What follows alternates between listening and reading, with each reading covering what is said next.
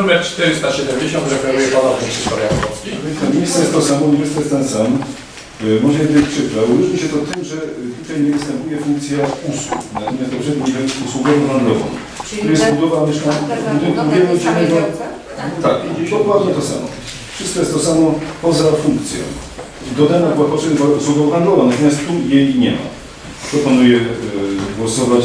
y, Uzasadniam tylko zamierzona tej decyzji, tak przede wszystkim kubatura czy opiekę frontowej, 33 metry, powtarzam, to w sposób też istotny od obiektów stojących w sąsiedztwie i w związku z tym nie jest to naszego tego typu monumentalnych budowli.